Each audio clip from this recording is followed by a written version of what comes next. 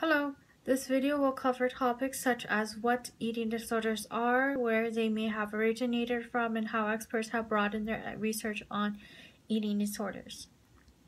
Eating disorders involve physiological changes linked with food restrictions, binge eating, purging, and fluctuations in weight.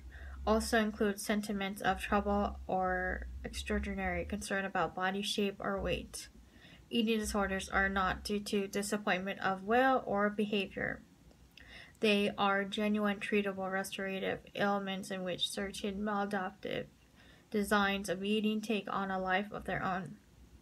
People who endure from eating disorders can involve wide range of health complications.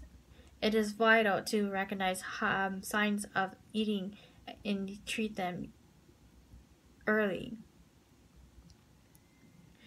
three primary type of eating disorders are anorexia nervosa, bulimia nervosa, and binge eating disorder. Subthreshold eating disorder show uh, indications of clutter but doesn't require a formal diagnosis. A few individuals may have indications of more than one disorder. There is a theory that dysfunctional interaction between parents and adolescents lead to eating disorder. However, saying that family is a result of eating disorder will hinder efforts of treatment. It can cause feelings of guilt and shame. Nevertheless, there is not a lot of scientific evidence that proves that this is true. Scientists believe that genes are the cause of eating disorders. It is estimated that 50% to 83% are at risk for developing an eating disorder. There is a strong link between eating disorders and history of abuse because stressful events may cause eating disorders in genetically predisposed individuals. Examples of these life events are wartime military service, the death of a loved one, or constant social pressure to achieve thinness. Researchers are also studying epigenetics.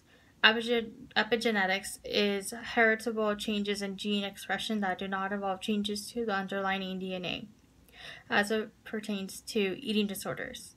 There is this is as it pertains to eating disorders.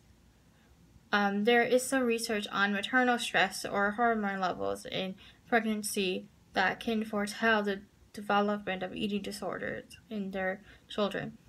This can prevent and treat possible eating disorders. From all this evidence, it is simple to say that genes set the stage for development of eating disorders, but environmental factors also play a role.